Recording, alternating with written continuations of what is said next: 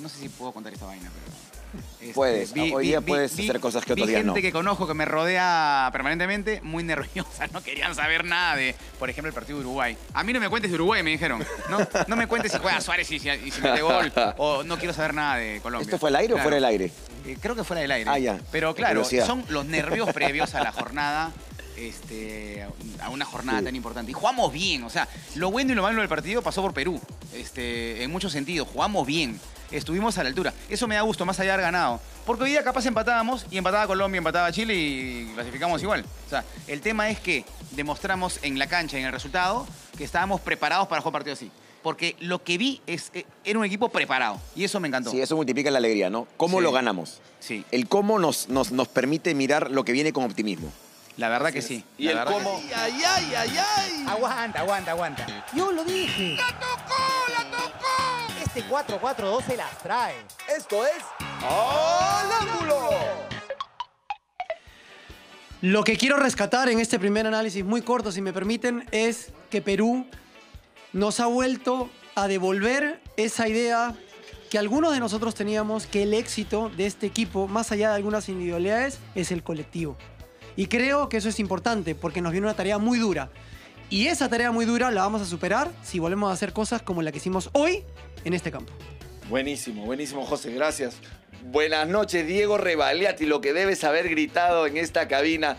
Felicidades, felicidades por, el, por, el, por los comentarios, también por lo, por lo vivido acá con Gino Bonatti. Y me imagino que estará feliz como todos los peruanos.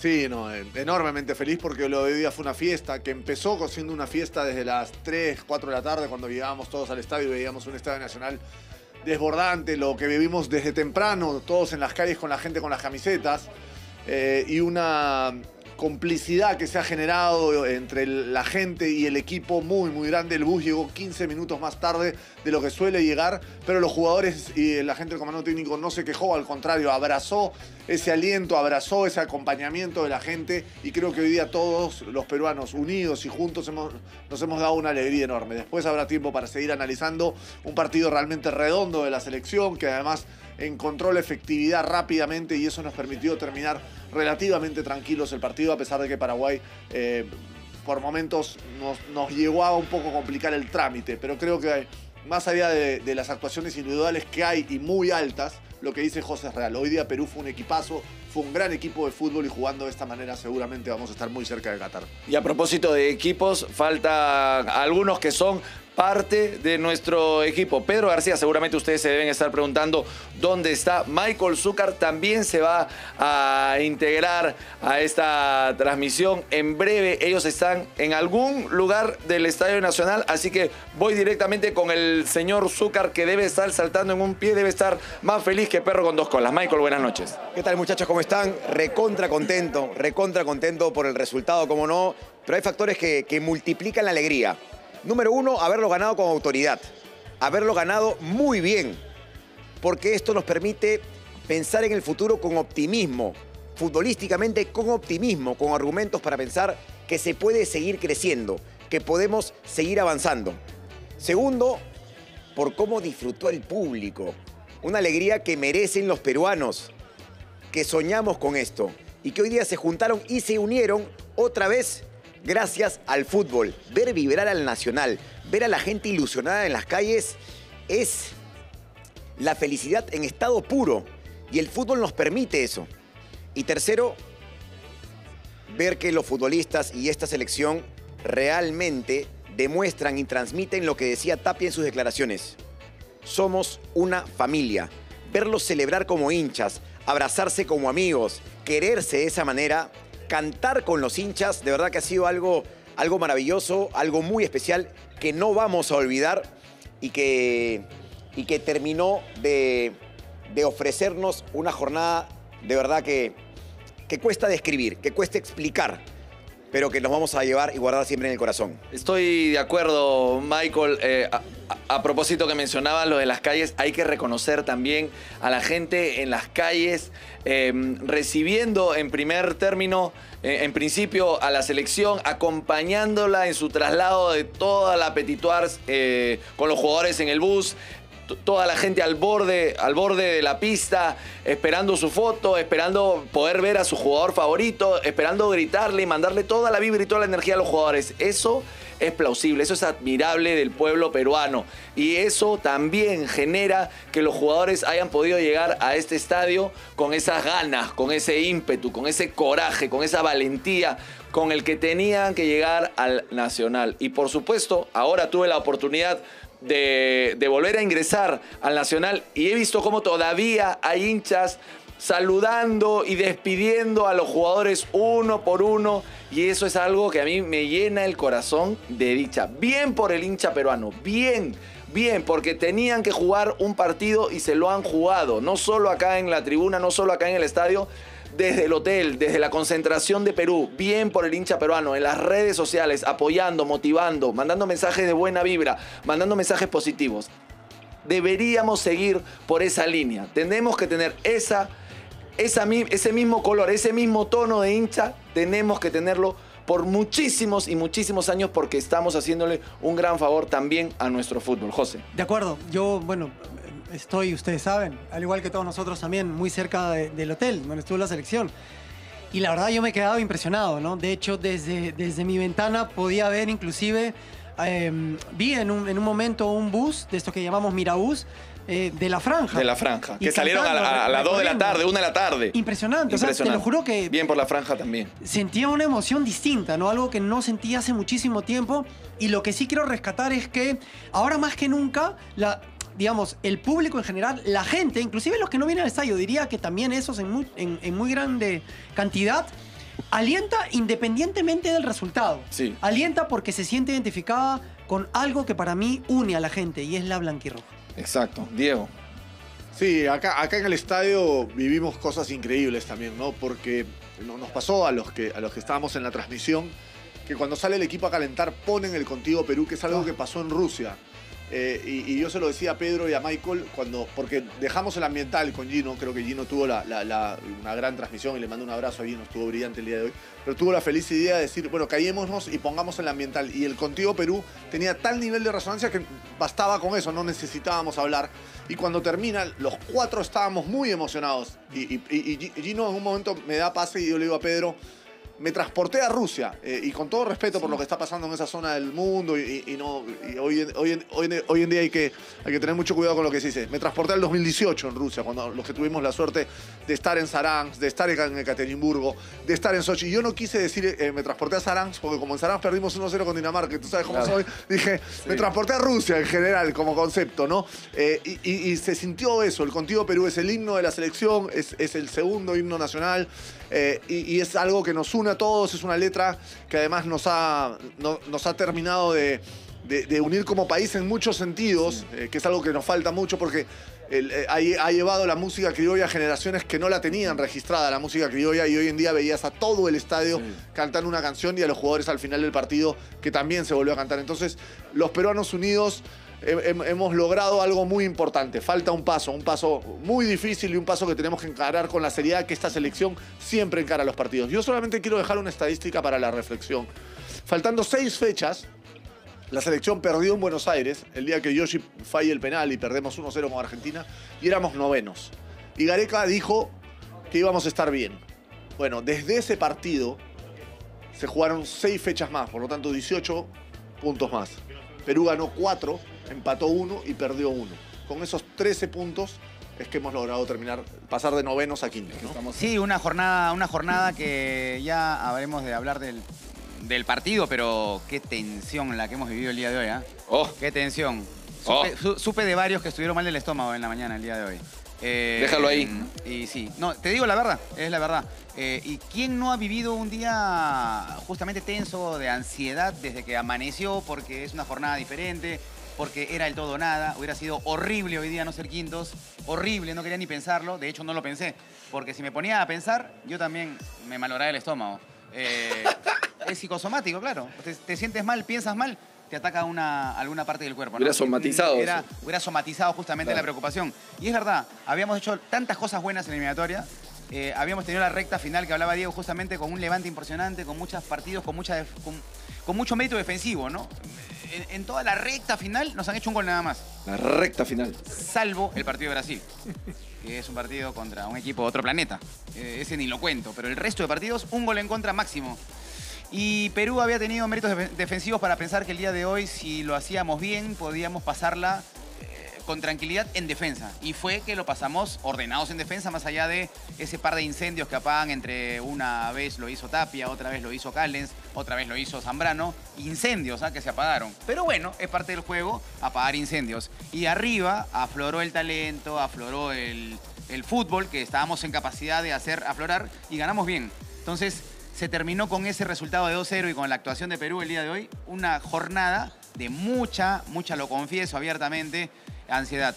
Ayer, eso sí, no sé si puedo contar esta vaina, pero... este, Puedes, hoy día puedes hacer cosas que otros vi días gente no. que conozco que me rodea permanentemente, muy nerviosa, no querían saber nada de, por ejemplo, el partido de Uruguay. A mí no me cuentes de Uruguay, me dijeron. No, no me cuentes si juega Suárez y si, y si mete gol, o no quiero saber nada de Colombia. ¿Esto fue al aire o fuera del aire?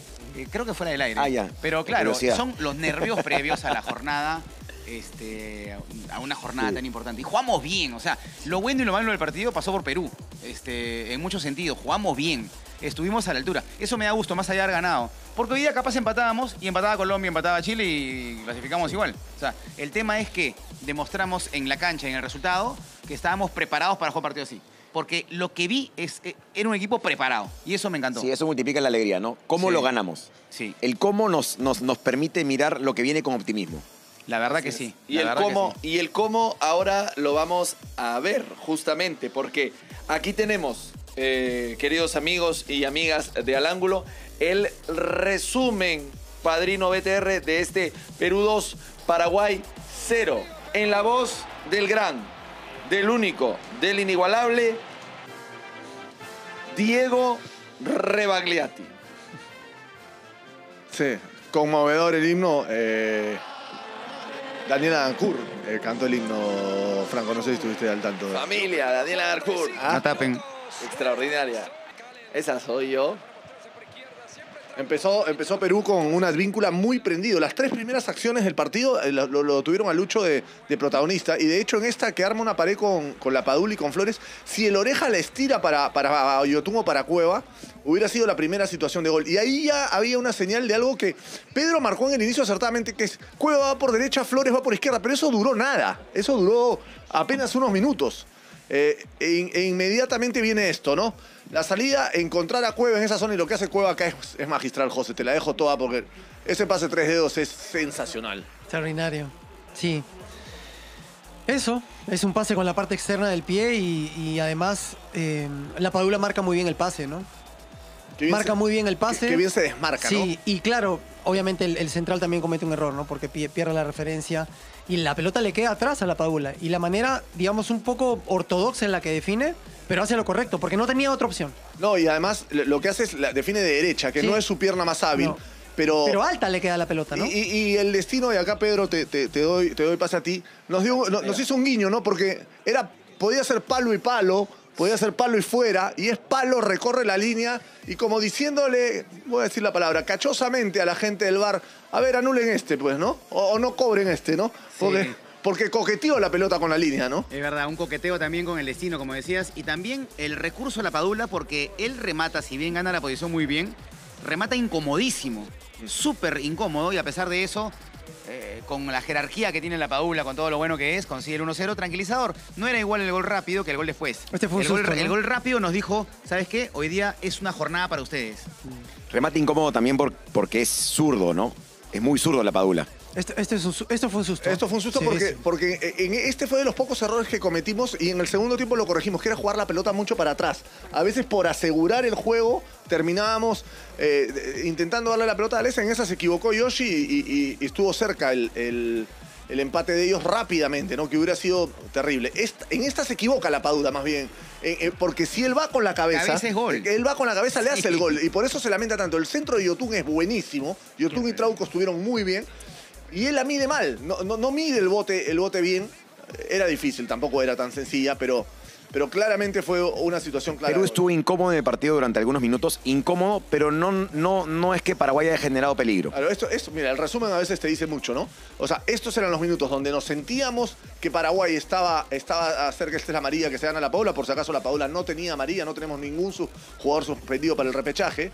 Eh, la Padula, porque no tenía opciones de pase, se gana la María. La termina perdiendo porque creo que Perú en los primeros 20, 25 minutos corre tanto y mete tanta intensidad que después era como natural que se tomara una pausa en el partido, ¿no? Empezamos a perder divididas, perdimos también un poco de claridad, nos interceptaron algunos pases, pero no es que Paraguay haya sido peligroso o haya justificado un empate.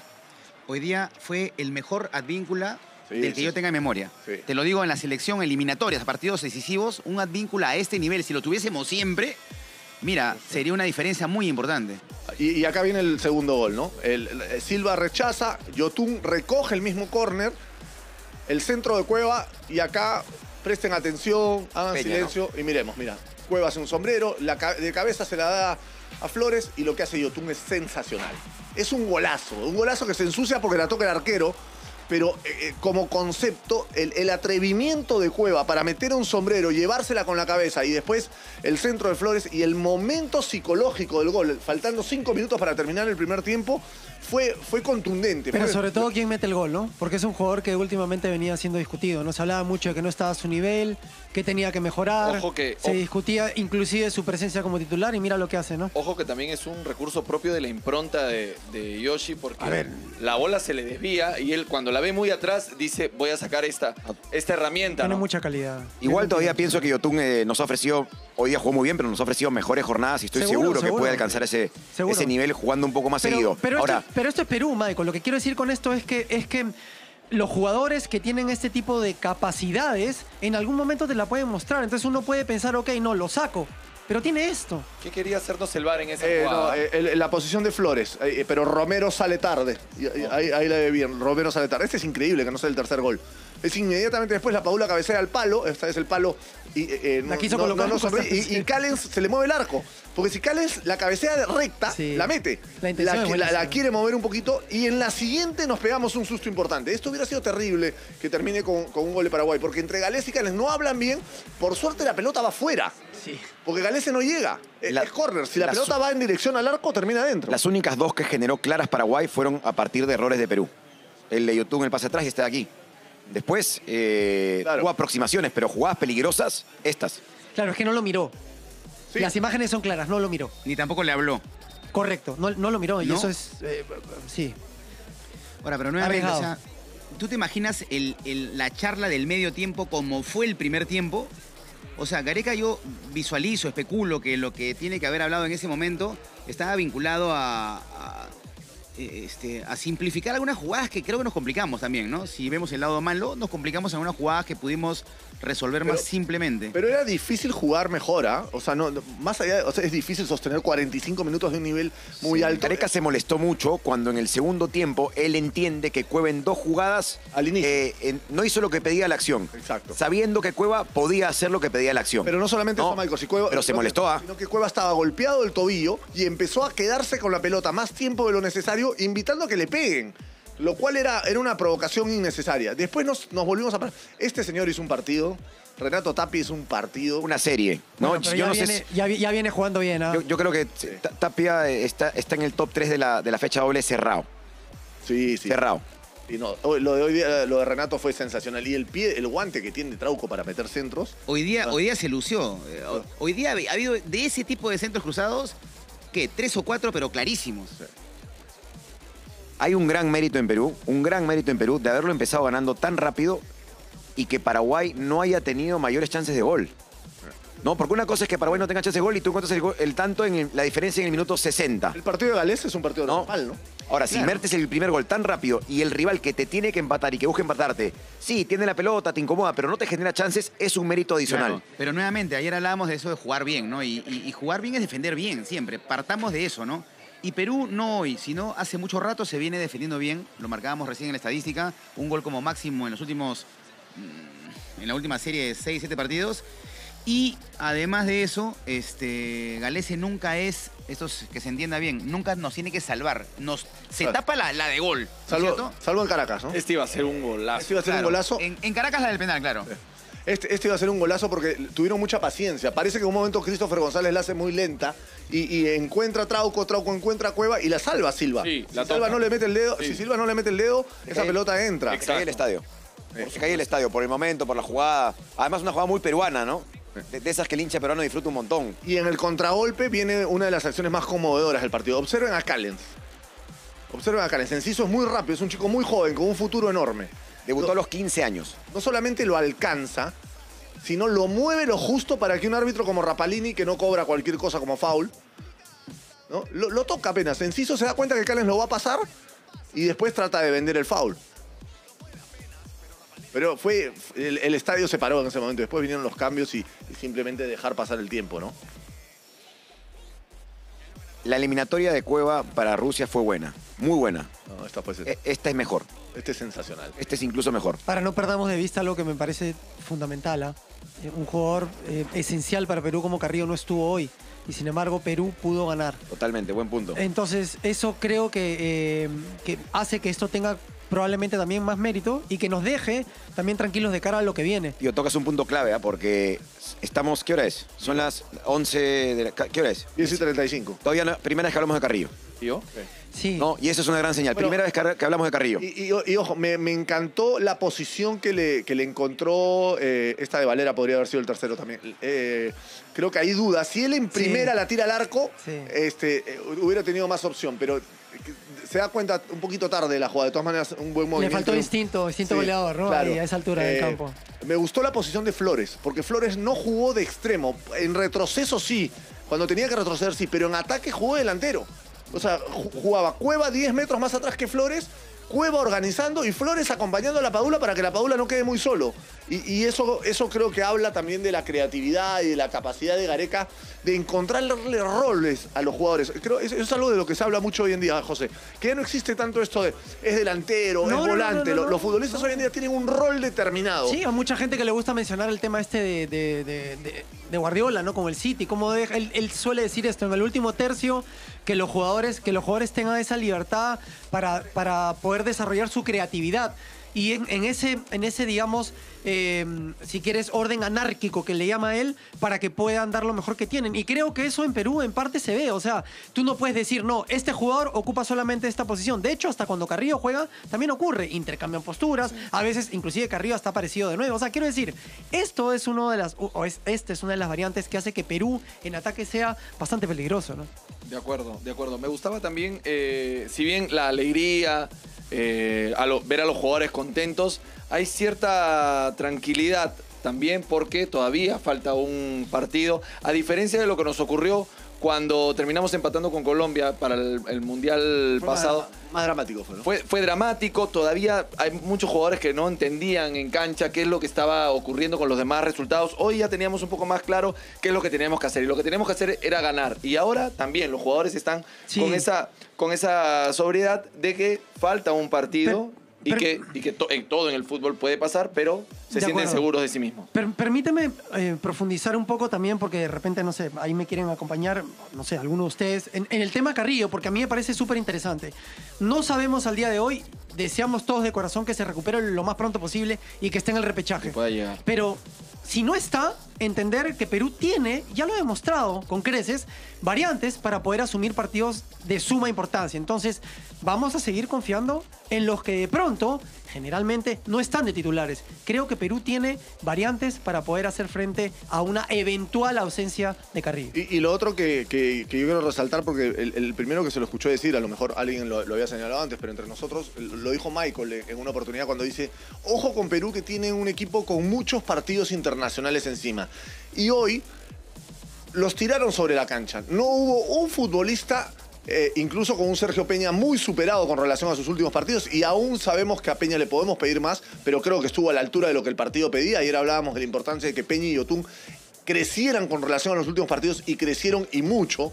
Eh, pero creo que no hubo un futbolista de la selección que tú dijeras, no, este está nervioso por la circunstancia que le toca, este no está preparado para el partido que le toca. Después pueden haber actuaciones que a uno le gusten más o menos, pero eh, digamos, en términos de, de estar eh, mentalizados y claros y, y convencidos del partido que tenían que jugar, no hay forma de que los 70, 80 Por partidos eso, por eso te hablaba internacionales... de, de esa tranquilidad, ¿no? Que de repente alguien lo puede haber malinterpretado, pero en realidad es tranquilidad, porque confías en lo que haces, tienes esa convicción. Y, y Pero no es de- finalmente, para hoy. pasarle la, Ah. finalmente, para pasarle la pelota a Pedro y a Michael, bueno, nuestra selección terminó jugando con su esencia sin perder el estilo de juego que venía, que venía teniendo, ¿no, muchachos? Y eso, y eso nos pone contentos sí, también. Sí, pero mm, dimensionando que fue fundamental el día de hoy eso, bueno, también fue igual en Montevideo. Y también fue igual en Barranquilla. Y también fue igual en Buenos Aires. Y en todos los partidos que Perú ha jugado últimamente, ha tenido ese, ese aplomo para enfrentarse a la gran cita, ¿no? O sea, y los partidos de local que fueron extremos acá en, Lima, ha tenido aplomo para jugar esos partidos. O sea, no ha habido, más allá de que algunos matices hay, uno jugó mejor, el otro jugó no tan brillantemente, lo que ha habido siempre ha sido aplomo. Tú puedes jugar un partido mal, algún día que estás poco lúcido con la pelota, y sin embargo tener aplomo para enfrentarte a ese partido que estás jugando mal. Entonces, son cosas diferentes. Yo creo que eso hoy día pasó, pero no de casualidad, viene pasando hace mucho rato. Michael. Hoy día, hoy día Zambrano cumplió su partido número 60, 60 con la camiseta de Perú. Wow. Y los únicos que tenían menos de 60 partidos del 11 titular eran Callens y Peña. Estamos hablando de, con diferencia, la selección de Sudamérica Y la Padula, ¿no? eh, y la Padula, Y la tienes Padula. razón. Con diferencia, la Padula cumplió su partido 20, ¿ah? ya, ya está en el 20. Ya está, en el ahí. 20. ¿Sabes qué me dijo Peña? ¿Sabe- ¿Saben qué me dijo Peña ahora? Acabado el partido. Me dijo, eh, no me la quiero perder.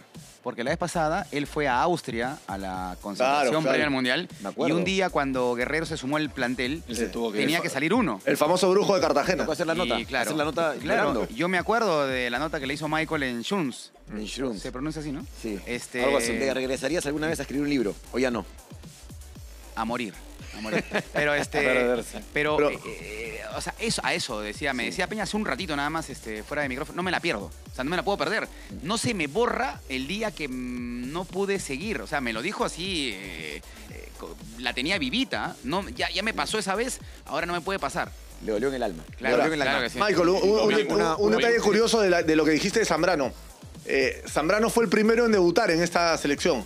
De todos los que juegan hoy en día, el primero que jugó en la selección fue Zambrano. Por lo tanto, si Zambrano no hubiera tenido esos, esos baches este, en los que estuvo fuera de, de la selección, probablemente partidos sería el, que tendría, el que tendría más partidos. Y es Yotun con 117. Está a 11 del Chorri de ser el futbolista con más presencias en selección.